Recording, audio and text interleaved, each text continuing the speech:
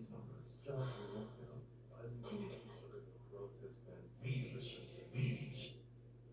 Hi everybody, Paul here again. In this video, I'm going to show you the easiest way to bleed brakes on a vehicle.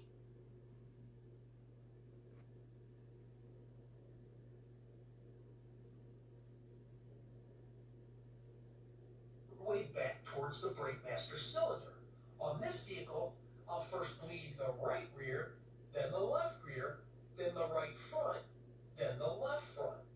Always remember to keep adding brake fluid to the brake master cylinder reservoir and never let it go empty.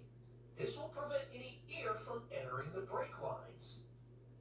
One other huge caveat is if your vehicle has anti-lock brakes like this vehicle, then locate the ABS module which will look similar to this. If the ABS module is located in the front half of the vehicle like this one,